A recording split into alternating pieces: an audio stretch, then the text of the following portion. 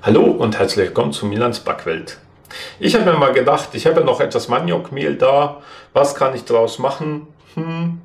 Jetzt hat meine Frau gesagt, für heute Abend hätte sie gerne Baguette. Wieso nicht? Machen wir mal Maniok-Baguette. Kenne ich noch nicht, noch nie ausprobiert. Schauen wir mal, wie es funktioniert. Ich habe mir mein aus meinem Maniokmehl, wie so häufig, also ich teste es ja nur zu Hause, im Betrieb nehmen wir es nicht her, dafür ist es zu teuer. Ähm, ja, also ich würde es äh, mir nochmal kaufen, muss ich ganz ehrlich sagen. Die Sachen, die ich bis jetzt gebacken habe, die waren wirklich lecker. Und auch das größte Qualitätszeichen, äh, meine Tochter hat es gegessen. Damit muss es gut sein. Ähm, also ich würde es nochmal kaufen, auch zu dem Preis, weil ich verbrauche ja nicht sofort ein Kilo, sondern ich nehme es nur als ähm, Geschmacksgeber her. Darf, dafür hält es halt sehr lange auch so ein Kilo. Auch hier habe ich jetzt nur 100 Gramm genommen. Das heißt, ich könnte jetzt äh, zehnmal die Baguette machen, bevor das Mehl aufgebraucht ist. Und dafür ist der Preis dann doch wieder okay.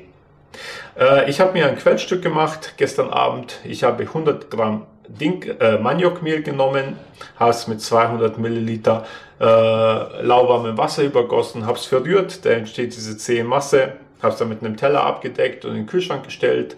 Das ist einfach, um, äh, damit es noch etwas mehr Geschmack entwickelt. Das hat ja so einen leicht nussigen Geschmack und damit unterstütze ich das einfach noch ein bisschen. Für meine Baguette habe ich mir 400 Gramm Weizenmehl hergerichtet, der Typ 1050. Dazu kommen 8 Gramm Hefe, 8 Gramm Salz, 170 Milliliter lauwarmes Wasser und mein Maniok-Quellstück.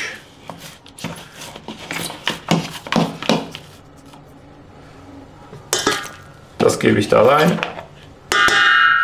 Und das lasse ich jetzt äh, kräftig kneten von meiner Maschine, denn ich möchte, dass die Baguette hoch werden und nicht flach. Und dafür brauche ich einen gut ausgearbeiteten Kleber und dafür muss der Teig gut geknetet werden. Ich werde es jetzt drei Minuten vermischen lassen bei der ersten Stufe und dann zwölf Minuten kräftig kneten bei der zweiten Stufe.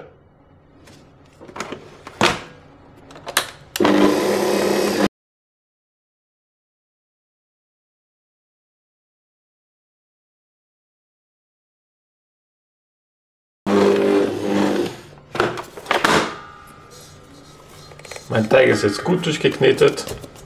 Hat eine sehr schöne Konsistenz. Den werde ich jetzt mit einem Küchentuch abdecken, in den Kühlschrank stellen für ungefähr drei Stunden. Da entwickelt die Hefe sich einfach langsamer. Dadurch entwickelt sich der Teig besser vom Aroma her, wird einfach geschmacksintensiver, bekömmlicher, hat eigentlich nur Vorteile, wenn du den in den Kühlschrank stellst und nicht bei der Raumtemperatur. Also ab in den Kühlschrank für drei Stunden. Drei Stunden später Richtig schön. Sehr schön hergegangen. Jetzt werde ich den einmal aus der Schüssel nehmen.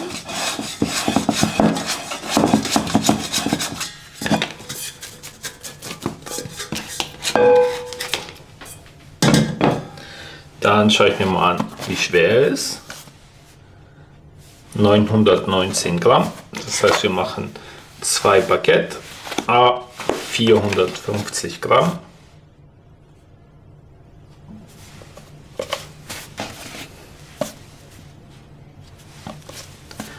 Gut. Jetzt versuche ich den Teig gar nicht großartig zu bearbeiten. Ich ziehe ihn etwas lang, schlage ihn hier ein, dann rolle ich ihn hier ein. Ganz vorsichtig. Und rolle ihn einfach nur auf die gewünschte Länge.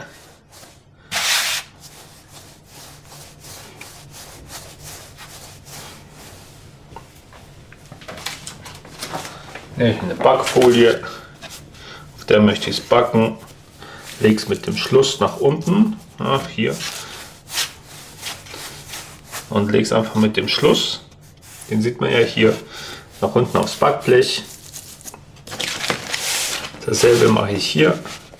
Ich könnte es jetzt natürlich ausstoßen und dann erstmal schön alles flach drücken, aber dann würde ich die, das Ganze, was die Hefe bis jetzt geleistet hat, einfach kaputt machen. Das möchte ich nicht. Also ich möchte jetzt nicht irgendwie nochmal zwei, drei Stunden warten, bis ich es backen kann, sondern Ich möchte es bald backen.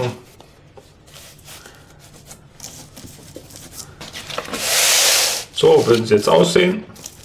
Die decke ich jetzt mit einem Küchentuch ab. Jetzt kommt es ja wieder darauf an, wie, wie viel Zeit ich investieren möchte. Ich könnte es natürlich wieder in den Kühlschrank stellen, dann wieder, ich schätze mal so zwei Stunden warten dann im Backofen. Ich werde es jetzt eine Stunde bei Raumtemperatur stehen lassen und dann gebe ich es in den Ofen rein. Meine Baguette lagen jetzt eine Stunde, richtig schön hergegangen. Den Ofen habe ich auf 210 Grad Umluft gestellt. Jetzt werde ich die Baguette einmal schön einsprühen.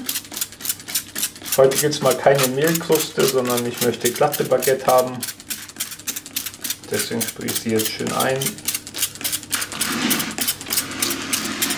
Das macht die Oberfläche glatter.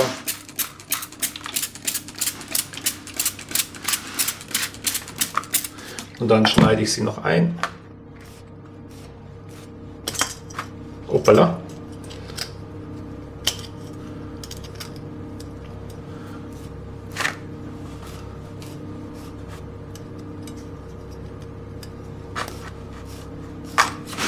So, so kommen sie jetzt im Backofen. Nochmal ein bisschen Feuchtigkeit drauf, weil ich heute kein Blech im Ofen habe.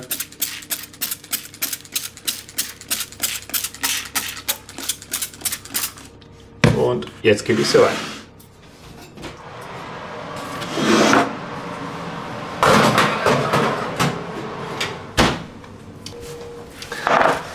...28 Minuten später sehen meine Baguette so aus.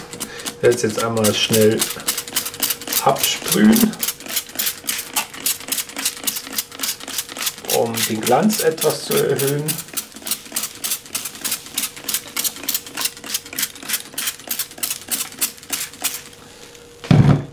Da sollte man jetzt nicht warten, sondern das wird immer abgesprüht, sobald es aus dem Ofen kommt, denn dann ist es noch recht heiß.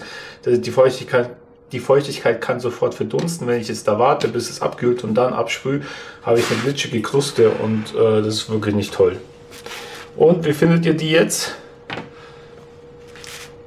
Optisch muss ich gestehen, mittelmäßig. Äh, da hat sich jetzt nicht viel getan. Das Maniokmehl ist äh, glutenfrei und ich habe ja 100 Gramm benutzt auf 400 Gramm Weizenmehl. Das ist schon eine ganz schöne Menge. Also da muss ja das Weizenmehl schon einiges ausgleichen.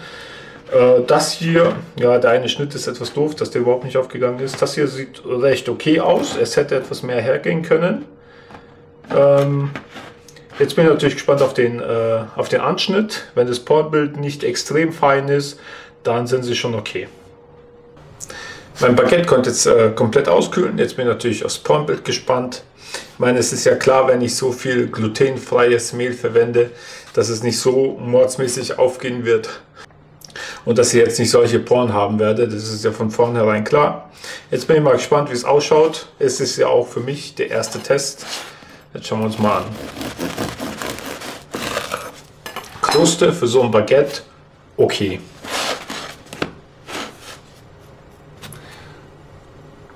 Das ist jetzt eher Richtung feinporig. Es ist noch okay. Wirklich, hier ist eine recht große Pore.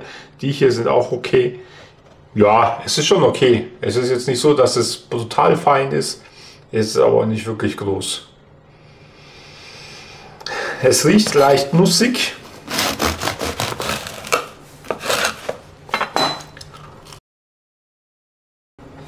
Geschmacklich, was soll man sagen? Dieses Mehl ist einfach toll. Ich mag es sehr gerne. Man sieht ja sehr gut durchgebacken. Wenn ich hier reindrücke, es wieder sofort zurück. Geschmacklich eine leichte Nussnote beim schönen äh, Weizenmehl. Super. Also ich würde es gerade nochmal machen. Ich hoffe, euch hat das Rezept gefallen und ihr packt es mal nach. Und wie immer, schreibt mir, wie es bei euch geworden ist. Vielen Dank fürs Zuschauen.